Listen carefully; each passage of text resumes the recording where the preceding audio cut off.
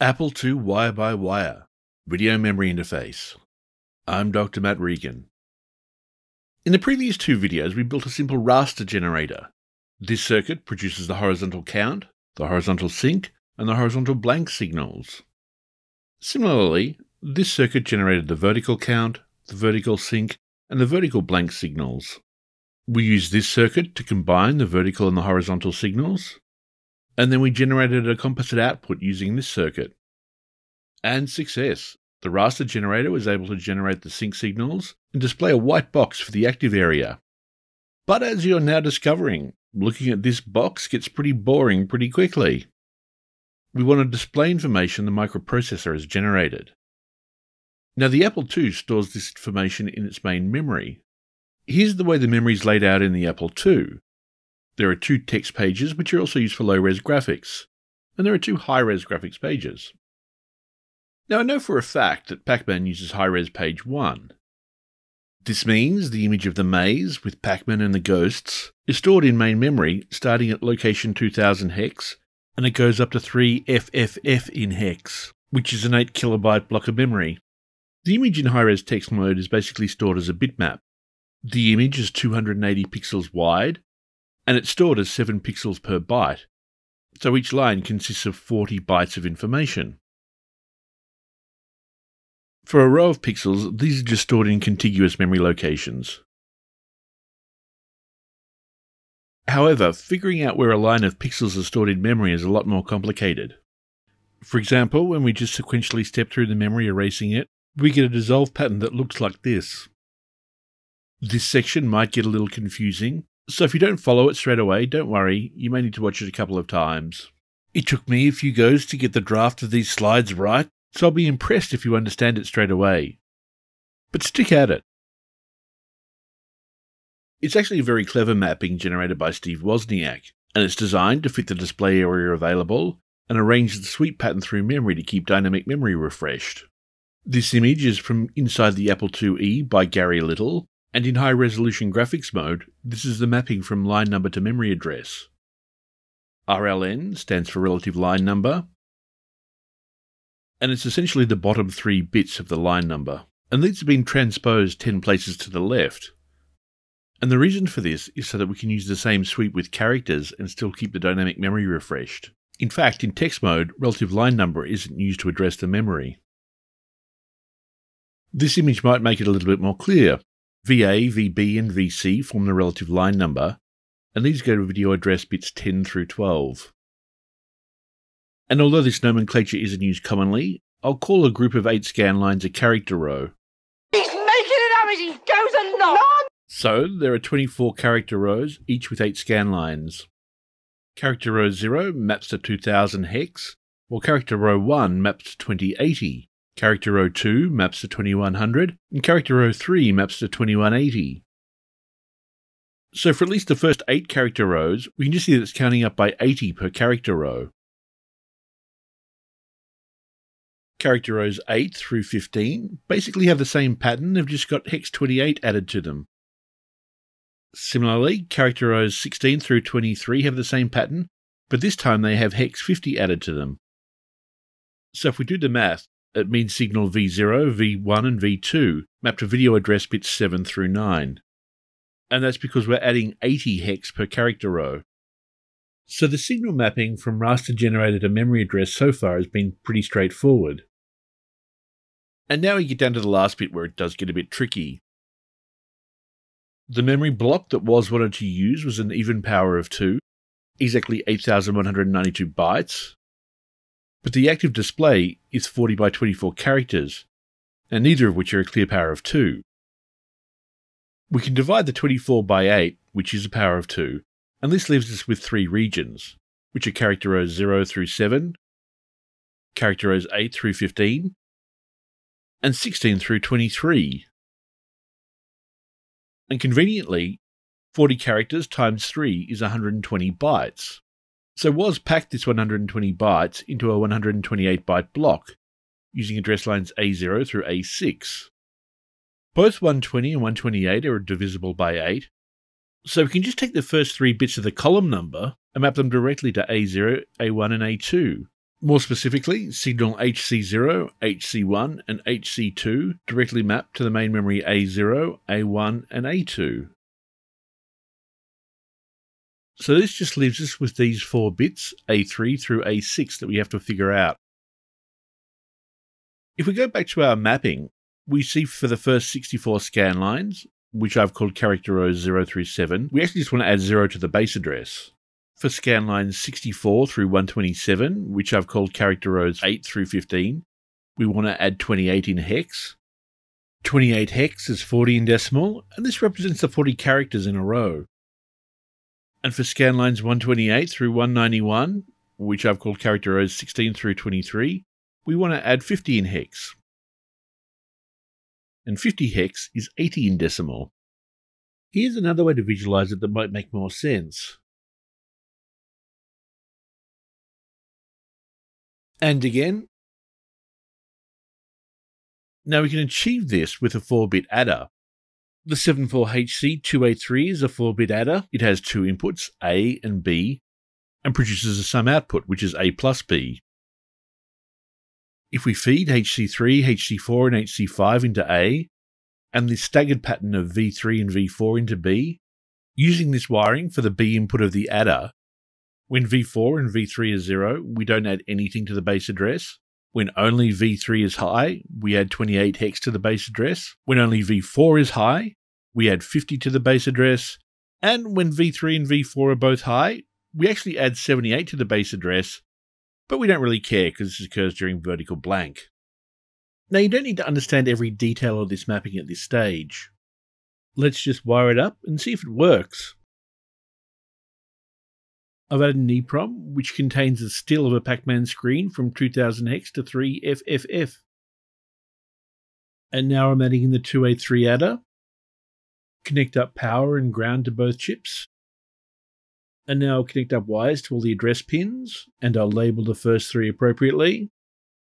Then I'll connect the next four up to the adder, and I do this so I can add either 0, 28, or 50 hex, depending on where I am in the screen. Now I'll just label the rest of the address pins. Now the A and B inputs to the adder are actually interchangeable. 5 plus 7 is equal to 7 plus 5.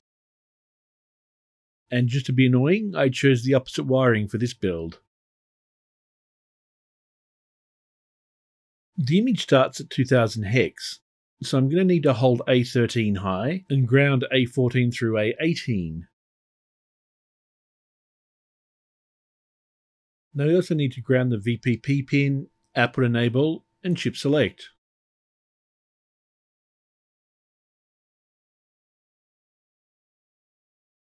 Here's the first part of our circuit.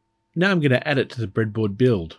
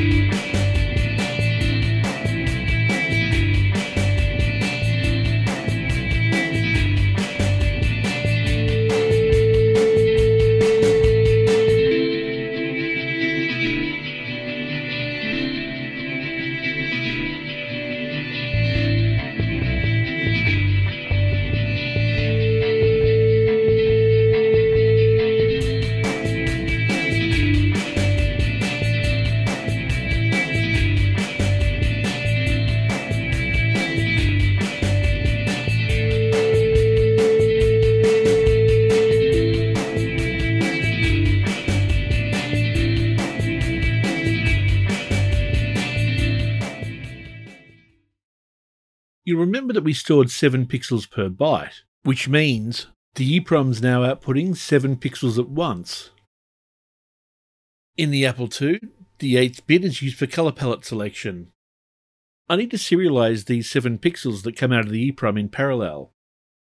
And I can do that with a shift register, and the 74HC165 can do this.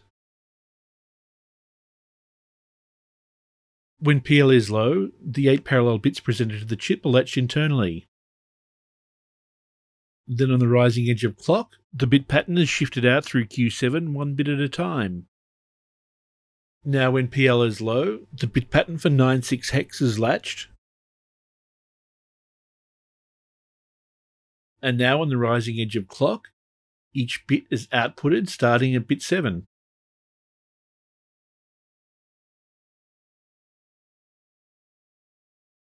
This shows the correlation of the parallel bits in the input and the serial bits in the output. I'm going to put an octal D-type flip-flop between the output of the EEPROM and the shift register. Now, strictly speaking, I could probably get away without doing this, but knowing exactly when the data is valid should make it easier to debug. Connect the EEPROM to the flip-flops.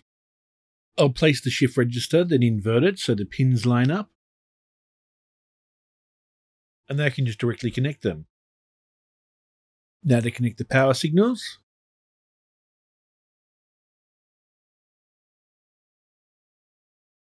The shift registers clocked at our dot clock rate, which is 7.16 MHz. This comes from our clock circuit. And the load signal I'll generate in a moment. I'm going to put an AND gate on the output of the shift register so that we only display during the active regions. Next, I need to label the output of the first clock divider so I can generate the load signal.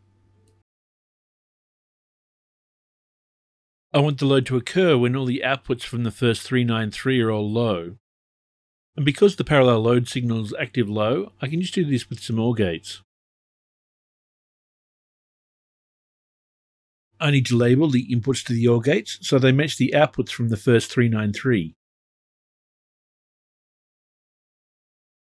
Let's see if we can get this to work.